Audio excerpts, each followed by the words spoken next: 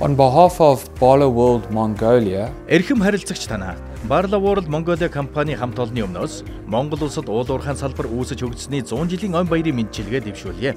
100 жилийн түүхт ой тохиож буй энэ үед Barla World Group компани байгуулагдсны 120 Caterpillar-ийн албан ёсны дийлэр болсны 95 жилийн ойг бид саяхан дэлхийн бусад олон оронд тэмдэглэж өнгөрүүлсэн учраас энэхүү түүхэн ой ямар чухал гэдгийг бид сайн мэднэ. Уул уурхайн салбар нь Монгол улсын хөгжил дэвшилд, ард иргэдийн амьдралд, улс орны эдийн засгийн хөдөлгөгч ач холбогдол бүхий салбар гэдгийг мөн онцолж хэлмээр байна. Монголын уул уурхайн салбарын бүх ажилтнуудад баярын мэнд дэвшүүлэхийн зэрэгцээ уул уурхайн салбарт хувь нэмрээ оруулж буй бүх талуудтай хамтын ажиллагаагаа улам өргөжүүлэн ажиллах болно гэдэгт би итгэж байна. Та бүхэнд сайн сайхан бүхнийг хүсье. Цаашдаа дахиад 100 100 жил хамтран ажиллах өлзийтэй ёроолыг өргөн дэвшүүлье. 100 years more. Thank you.